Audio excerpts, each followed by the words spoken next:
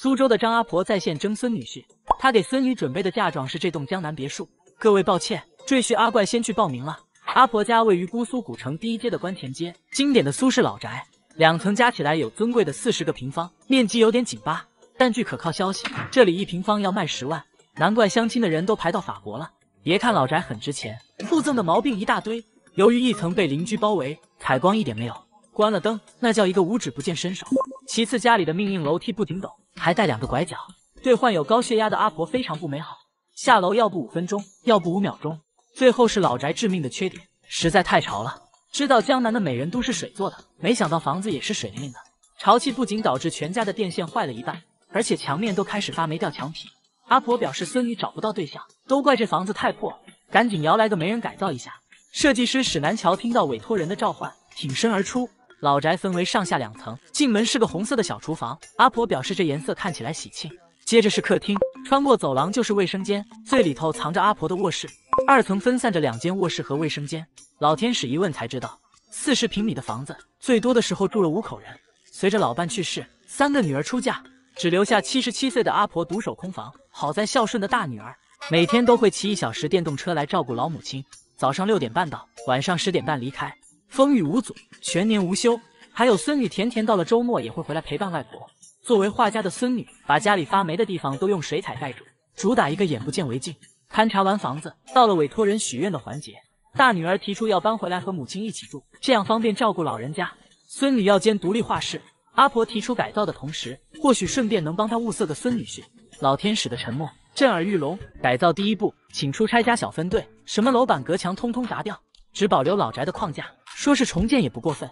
改造第二步，对空间进行重新布局，楼梯作为三八线，左边将作为公共区域和画室，右边安排三间卧室。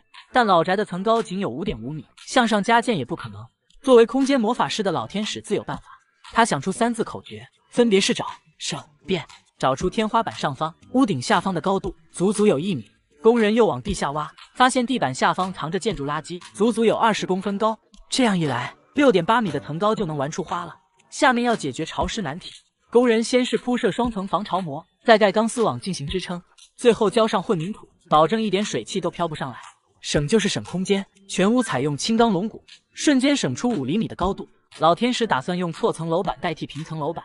三间卧室的高度分别能达到二点六米、二点一米、一点九米，这高度也就姚明住不进来。改造第三步，解决老宅的采光问题。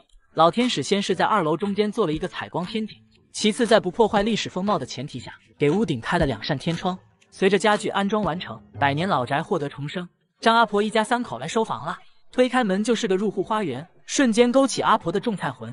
把视线移到室内，这配色也是没谁了，像是把苏州博物馆搬进家。大神设计师就是不一样。沙发上方的楼梯高度进行过精密计算，不用担心磕脑壳。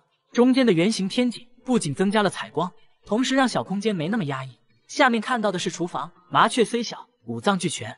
阿婆喜欢的中餐，大女儿和孙女喜欢的西餐都可以在里面解决。厨房上方留有长长的天窗，白天都不用开灯的，主打一个省电费。走廊新增水吧，在这里泡茶泡咖啡，别提有多惬意。水吧隔壁是卫生间，是老设施，虽迟但到。阿婆将来可以坐着洗澡，不用担心摔跤了。一层最里边就是阿婆的卧室，看得阿怪都想住进去了。窗户外边就是满墙的绿植，再也不是邻居家的破墙了。阿婆立马去体验新床，开心的像个九百个月大的宝宝。卧室新增落地衣柜，多少东西都塞得下。沿着平缓的楼梯来到二楼，先看到的是孙女的画室，古典和现代完美结合，简直太好看了。屋顶的天窗把自然光线很好的引入室内。画室里还有水池，老天使是懂艺术生的。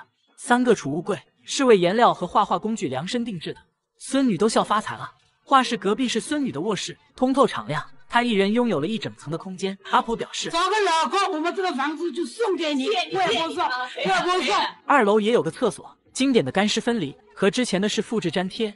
下面看到的是大女儿的卧室，茶台是为她定制的。老天使上门揭秘彩蛋：首先入户花园里配有鞋柜和换鞋凳。臭鞋子以后就搁这儿。其次，全屋铺设了地暖，还有三台除湿机，再也不用担心潮湿问题。客厅的茶几变形后，坐下十口人不成问题。最后，厨房里配有智能折叠门窗，厨房也能和小花园融为一体。拉出灶台底下的小桌板，阿婆就能和老姐妹享受花园下午茶。按照惯例，最后晒出账单，一共花费了三十五万元。